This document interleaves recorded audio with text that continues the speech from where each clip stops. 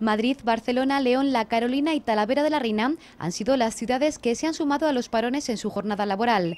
En total, más de 4.000 teleoperadores han sido convocados a esta jornada, que inicia una serie de movilizaciones que culminará con una huelga. Desde la patronal se niegan a, cerrar una negociación, estamos sin convenio y pasa el tiempo, pasa el tiempo y seguimos igual, así es que ya no nos ha quedado otra que forzar la forzar la situación con estos parones y con la huelga. Vamos a llegar hasta donde podamos llegar con tal de que se sienten a negociar. El convenio de telemarketing que les regula actualmente lleva congelado desde hace cuatro años, repercutiendo directamente sobre sus sueldos. Igualmente denuncian que dentro de las negociaciones del nuevo documento, la patronal quiere eliminar derechos ya adquiridos, algo que consideran injusto. Quieren todavía recortarnos un poco más, si se puede, las bajas médicas para que no tengamos nuestras horas de consulta, de poder ir al médico para comprobar si estamos bien, no estamos bien y la situación siga peor. Las condiciones, se echa gente a la calle, se contrata gente nueva por salarios todavía inferiores, no se nos suben las categorías. Lo que manifestamos todos es el hecho de que mejore una situación colectiva que no solamente nos, nos va a beneficiar a las personas que estamos aquí hoy en día presentes,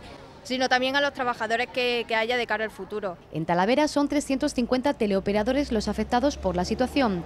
Más de un 80% son mujeres que, entre otras reivindicaciones, solicitan que en el convenio se regule su derecho a llevar a sus hijos al médico. El que llevemos al niño al médico lo consideran una falta y nos lo quitan del sueldo. Y lo que queremos es que eso también forme parte como una ausencia justificada, como horas médicas, porque los niños con 8 años no van solos al médico, hay que acompañarlos. Dicen no poder continuar con esta situación, por lo que solicitan llegar a un acuerdo que satisfaga a ambas partes. De no ser así, en los próximos días, el sector está convocado a secundar una huelga de 24 horas el próximo 6 de octubre.